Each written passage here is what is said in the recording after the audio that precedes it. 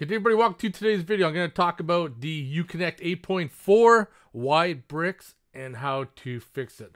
So basically what happens is that if you're installing a software to a more modern software, but the software before isn't compatible with the software that you're going to update to, that's when it bricks. So basically what I'm saying is that some softwares might need a software in between the software version you're going to to the software version that you want.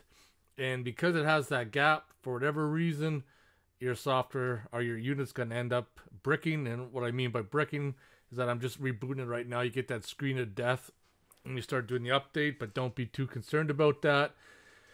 Is that your unit will be stuck in an endless loop mode. So basically, it'll go so far. So you see on the screen right now, I got the total count 3, 98%, 100%, and it's going to reboot and that's when it's going to actually start the total unit count, which will be 15 different modules that it's going to install in the stereo. But it's not going to get past the bootloader, at least not for me, and then it's going to reset and start to process over.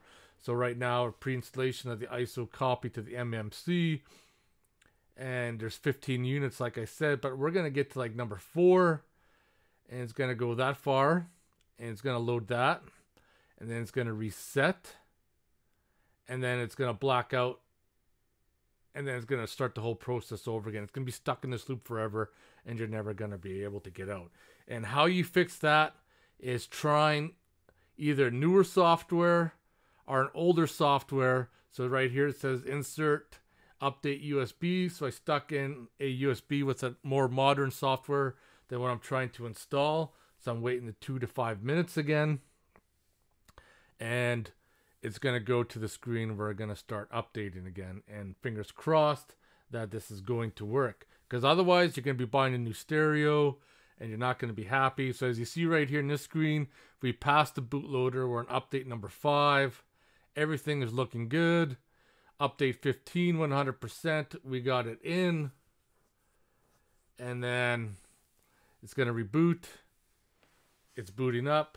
The new software is installed I got the new software with the apps button, which the old software didn't. And I go to my display because I tried to go in from 15 something to like 1711, I think it was. Now I'm at 1743, and currently I'm on 18.45. But this is how you fix it. I hope this video helped. If you have any questions or comments, post them below. Otherwise, I'll see you guys in the next one. Take care, everybody.